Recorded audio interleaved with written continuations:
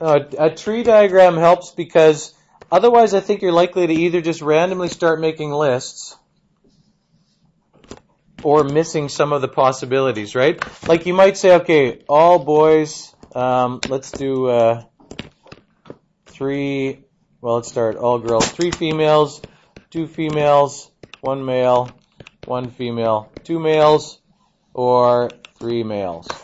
And you might say, okay, there's four different things that can happen, so you got a 25% chance of each, right? That's a big assumption there, and you need to you need to look at it more significantly. All we know is all we're assuming is that the chance on each birth there's an equal chance, right? So it it probably helps to uh, to generate the list by looking at a tree diagram here. This is one way. This is not saying that if someone asks you the how many children in a family question, you have to do a tree diagram. Please don't approach this unit by trying to memorize possible solutions. This is one way you can see the sample space for something. You can make a list here. The first birth could be female or male, right? So this is the first child. After that, the next child could be female or male. So this is the second child. Or if it goes down here, this could be female or male. And then the third child could be same thing here, right? Okay, now maybe your tree diagram looks a little better. Incidentally, you don't have to make the tree sideways here. You could make it uh, whichever way you want. Upside down, right side up. If you look at how many ends of the branches there are here, that tells you how many outcomes. There's not really only, there, these outcomes are not equally likely if you look at this. What does this branch here lead to? Three females. Okay? This is my situation. I have three girls. What does this branch lead to? So I'm going to do this, right? Write it out that way instead of writing, instead of just writing um, two females, one male. If you write out the other uh, ones here in the order that they happen, and look at it.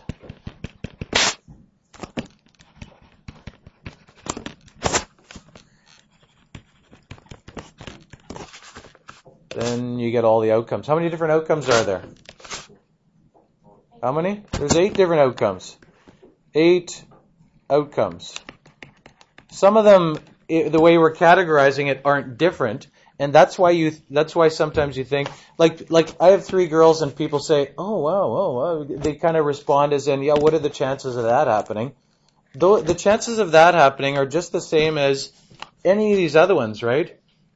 So you know, if you happen to be, if you happen to uh, have be a female and have two brothers like this one, let's say the you're the youngest of three and you have two older brothers people should react the same way. Oh wow, what are the chances of that? Two boys and then a girl. It's the same thing, right? It just people don't react to this because it doesn't seem as out of the ordinary, right? This this doesn't seem as out of the ordinary as as uh, as this does, but they have the same chance of happening. People should be saying that. Oh, what are the chances? A girl, then a boy, then a girl. What are the chances of that happening? All of these are equally likely. It's just when you count them up, it doesn't seem out of the ordinary because there's how many that are two boys and a or two girls and a boy here. That one, that one, and there's one more here, right here. Well, yeah, I would say so, doesn't it? When you count up all the outcomes, how many outcomes are there? There's three births. How many outcomes are there in each in each one? Two, right? Two things can happen the first child. If you did fundamental counting principle, two things can happen the second child. Two things can happen the third child. There's eight different outcomes. Right? There's eight ways it can happen. Those are the ways it can happen. There aren't only four. There's if we're just categorizing as at the end as the total number of children, there's only four different things. But there's eight there's eight different ways it can happen and three of those are two girls and a boy. Three of them are two boys and a girl. And then one of them is all boys, right? if you wanted to count up the probability of each of these, the chance of each of these is, if you know that there's eight different things, each of these is one out of eight. Okay, each individual thing here is one out of eight. So if you're asked, though, what are the chances for each of those cases up above? Let's just move this down here. What are the chances for each of these cases then?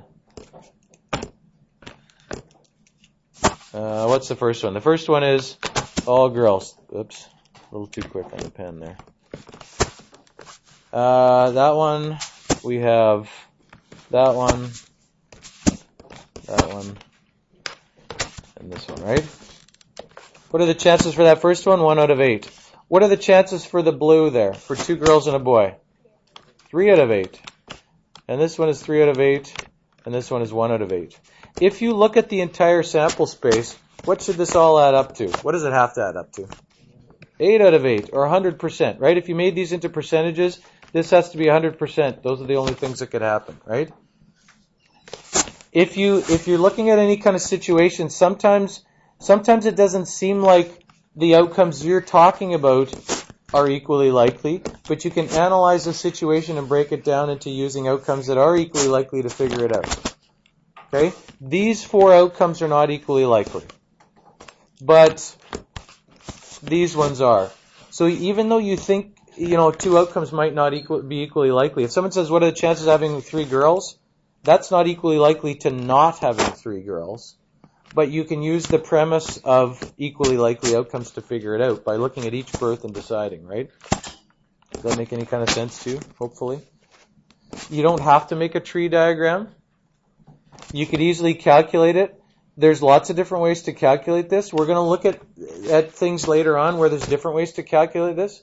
Somebody might figure this out by making that tree diagram. Somebody else might say um, there are there's three different ways that that could be arranged. Right? There's three different ways that you could have two uh, two females out of three. Right? So they might they might say of the three children, choose choose two to be the females.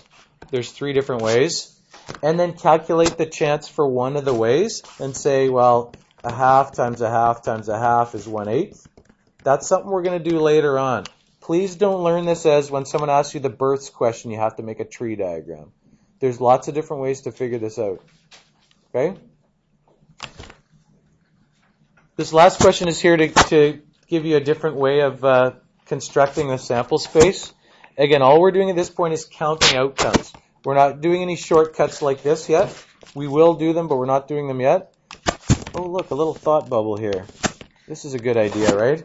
A table is uh, a table is a good way if you have two different things involved, like two spins. Okay, this this spinner here is spun twice. The reason a table is good for things involving two choices is because on paper you can make a two-dimensional table really easily right? You could put all the outcomes for the first spin over here. You could put all the outcomes for the second spin over here.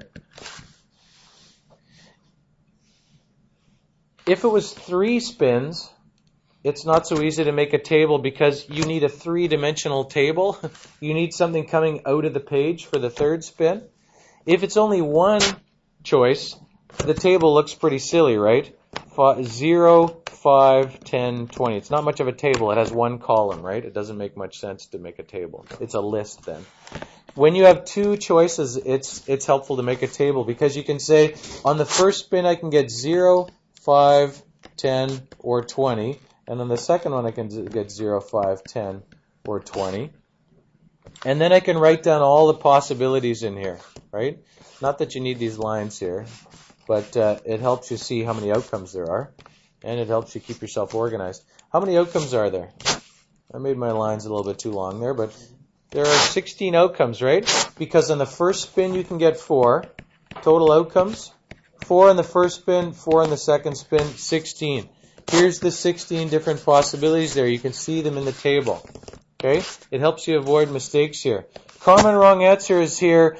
Oh, there's four, four things you can get first, four things you can get second. Thank you. Four things you can get first, four things you can get second. So that means there's eight altogether. You know you don't add them, right? If you're spinning first and spinning second. Can you fill that out and determine the probability of you win a total of $10? I am going to call that probability of 10. And then the second thing here is same number comes up on each spin. I'm going to call that probability of same number. When you use the notation here, a capital P with brackets and something inside, it means probability of that. It's not a function or anything like that. Okay, can you work those out? And then look at the second situation is where it says without replacement. Means you do not put you do, you don't uh, put it back in after choose the first one.